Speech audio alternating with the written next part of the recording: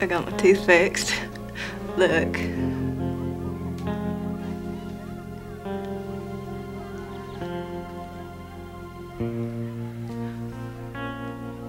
I'm really sorry, son.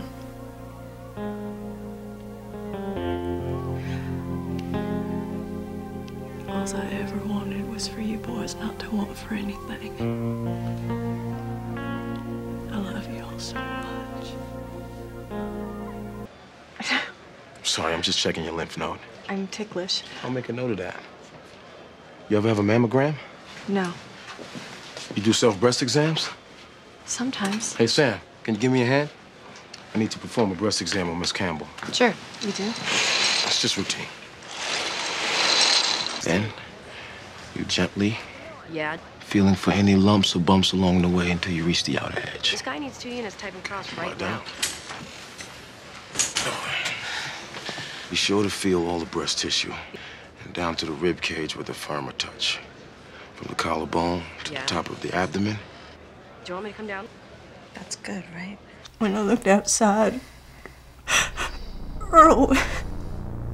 What do you do? Mom, what did you do? Earl was stabbing Rusty with his pocket knife. I know you mean well. I do. I know deep down you, you're trying, but it's not worth it to us. Everyone's against you, Fog. I'm not drilling for oil.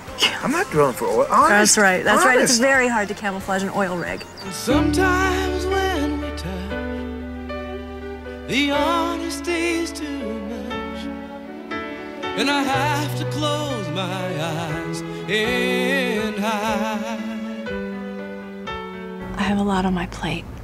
So that is it then? Yeah. Couldn't be anything else. Right?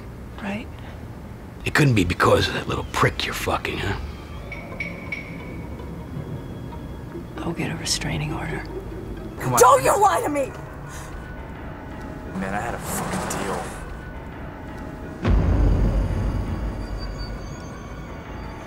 No, you had a deal.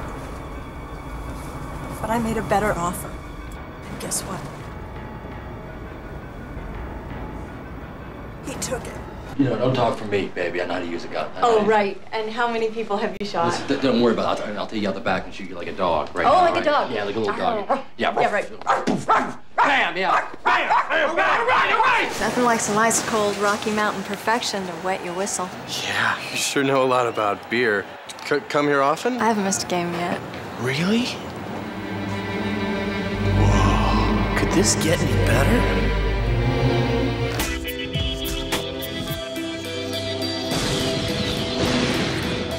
Then, 16 year old actress Ashley Laurence knocked on Barker's door.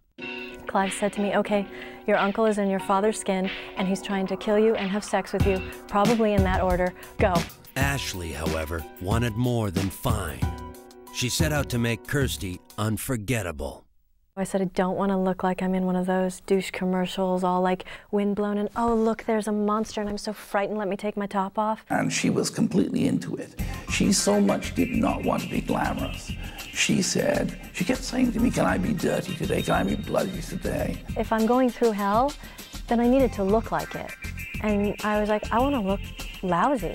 He's like, all right, done. Thank God I've never really been chased by demons from hell, but I imagine it's not going to be a good hair day.